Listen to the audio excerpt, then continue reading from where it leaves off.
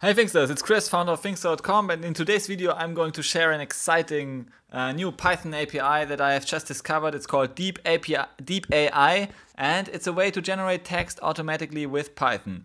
And I try to make this very short, so let's dive right into the meat. So what does it do? Uh, Deep API automatically generates a body of text given a sentence frag fragment or topic keyword. And you can use it to um, generate text automatically. In my opinion, the text is very rough, so it's only one step in a, in a, in a um, text processing pipeline, but it's a very uh, interesting, interesting way. And here you can see this kind of text. So I have so um, if we if we have a look at the code, you um, first import the request library.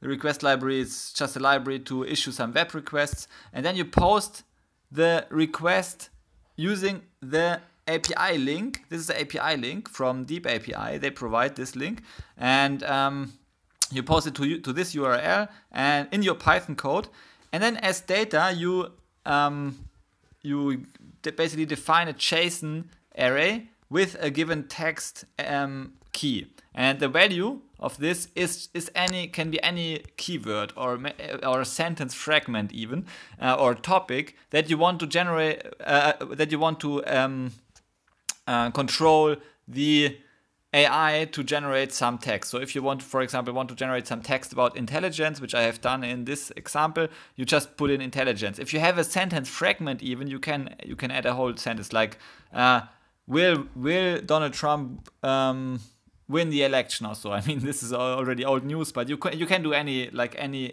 any sentence here. How to learn Python or so, and then it will automate generate text in this using this keyword and this topic, and then the rest is just an API key for uh, trying this thing out. I guess there's some limitations here um, with the with the quick start API key.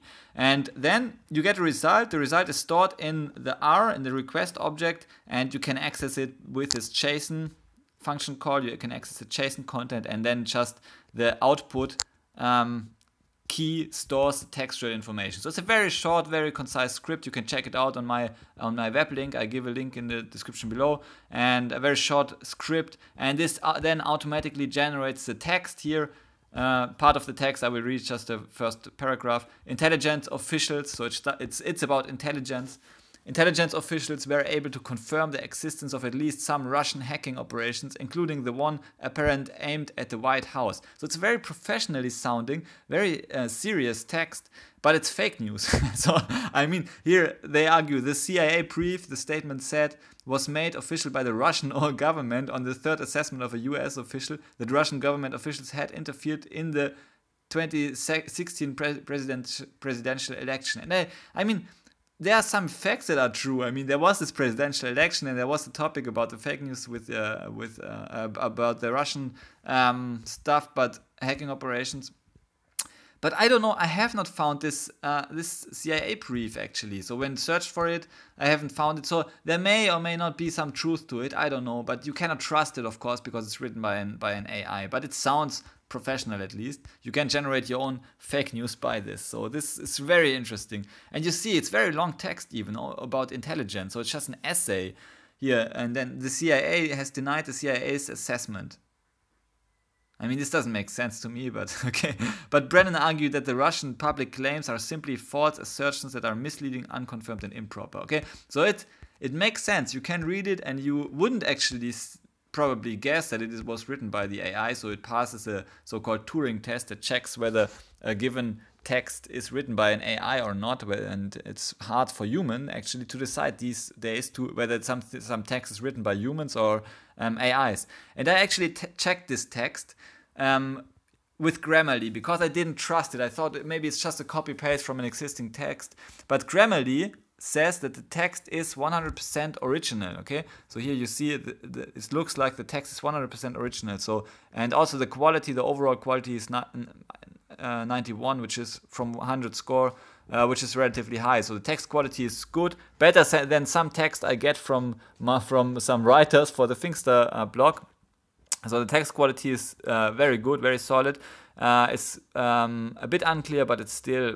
high quality text and it is 100% original. So in some ways this is really, I mean this think about the value you can generate by this uh, tool. But of course it's I think it's it's you cannot use it as a standalone tool to generate text. You must um, you must take it by the hand and lead it towards a more um, valuable text basically. So I think maybe you can have already a rough idea of the text you want to generate and then take it by the hand, try out different um, different requests and then like take take those paragraphs generated by the AI as puzzles to an overall text. So I think it can be interesting. The question, the challenge now is, um, can you find a way to generate value with this text uh, generating engine? I think this is like the million dollar questions. If you can find a way to, to generate more value with, the, with this um, text generating tool, so like create a Python script that uses this request in a more intelligent way as one step in the pipeline to generate a, mo a more useful text that is that really provides value to human beings apart from just entertain them with a funny text. Um, so I think this is really the challenge. If you find ways to do this, and uh, please share it with with uh, Finxter. Um, I will, uh, if if you, if you send me any script, I will publish it uh, on the Finxter blog if it is valuable at all, um, and uh, share it under your name so you so you get all the fame.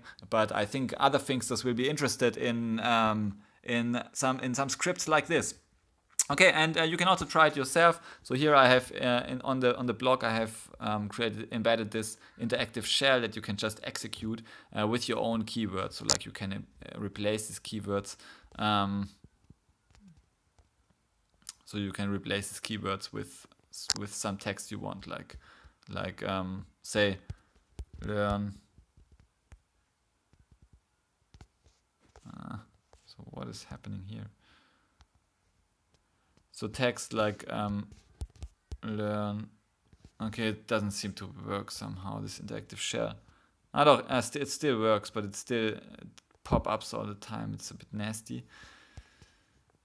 Okay, so but you can try it out yourself. So uh, you can issue some some arbitrary keywords um, using this script even on your own, own computer and uh, play with it. Good, that's it. Thanks for watching this video. If you like it, then give it a like and um, yeah, subscribe to our channel, subscribe to our email academy, where you get a lot of Python contents for free. Uh, thanks for watching and see you in the next video. Bye.